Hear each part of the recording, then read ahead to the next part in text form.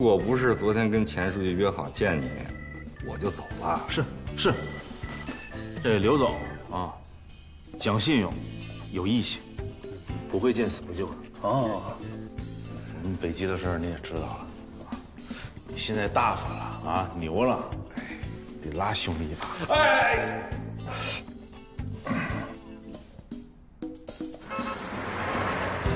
老表，我听说那个汉 NB 四个九那车现在归你开了，啊，对，给我用了。怎么，你想要啊？那车牌子呀是我当副厂长的时候我弄来的，回头转给我。行，咱俩谁跟谁啊？你们借我两个亿，我车牌无偿奉送，真的。和平，穷疯了吧你，臭小子！我可不穷疯了吗我？所以哥哥呀，你得拉兄弟一把呀。和平，不是我说你啊，你这个时候你回国当什么厂长啊？在国外做国际贸易不是挺好的吗？我们家必定之前就说了，还准备邀请你代理我们红星的重卡呢。哎，你们的红星重卡，红星那十个亿你们投了？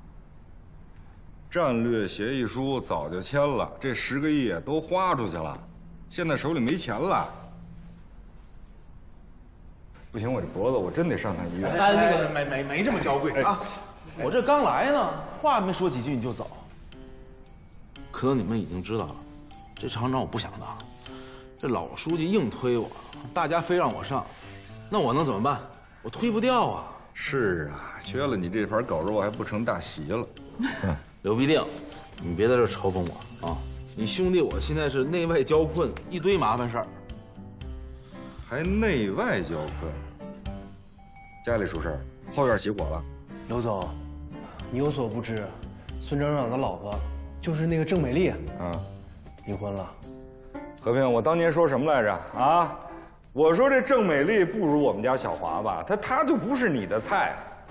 那小华倒是我的菜，那不被你一个熊猫给抢走了吗？你干什么呀？别瞎说八道啊，开玩笑。行，那不想让我胡说八道，你们就赶紧掏钱，起码借我五千万，让我把工资先发了。老婆，咱这碰着强盗了吧？